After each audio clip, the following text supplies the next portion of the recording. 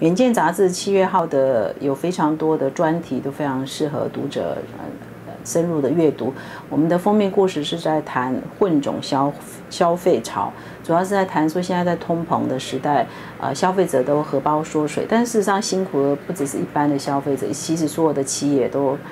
被双面夹击，一方面是说下游的消费者的消费是减少了，比较消费比较省慎；另外一方面是说它的原物料各种成本都在上涨。那可是很多上涨是没有办法直接转嫁给消费者的，所以呢，很多企业其实也很辛苦。所以我们就会呃。这个七月号以及下一期的八月号，我们会一连两期来探讨到底现在消费者的心声是什么，消费者的需求在哪里？因为尤其在这么难经营的时代里头，对消费者有更多的认知，有更多的观察，有更多他们的内心渴望的一些一些了解呢，会对企业如何经营，在这么难经营的时代，如何做经营管理呢？以及设定它的产品的走向、市场的区隔等等是非常重要的。那所以我们的封面故事是先做。呃，重新认识我们的消费者，通膨时代如何做行销，如何做经营管理的一个一个关键哈。那八月号我们还会有一期，也是呃跟这个消费市场的改变有很大的关系的一一个封面的报道哈。那同时这一期也非常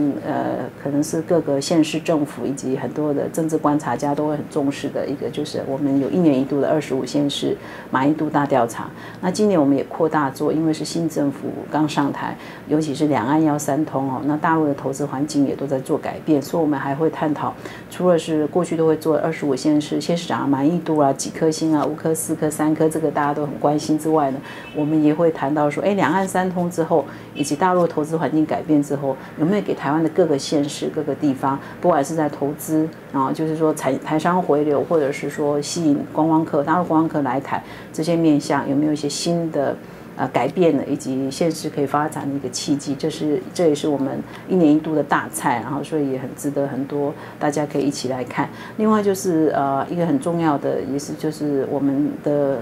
远见的栏位有一个在谈人文空间，主要在讲生活风格啊、旅游的趋势等等这样的栏栏位，我们一直也都做的蛮国际化。那这一期很特别，我们还特别到这个呃不丹哈去看不丹现在的如何。呃呃，在那么呃强调它的香格里拉不破坏它的自然环境之下发展国际的观光。然后我们第一期呢是先写说它有几个非常顶级的饭店，它怎么样融入当地的生态以及文化当中，然后吸引全世界各国人去旅游，这是一个。另外一个是说，我们也探讨呃明年马上元月就会来台湾的太阳马戏团，特别到澳门去采访他们的。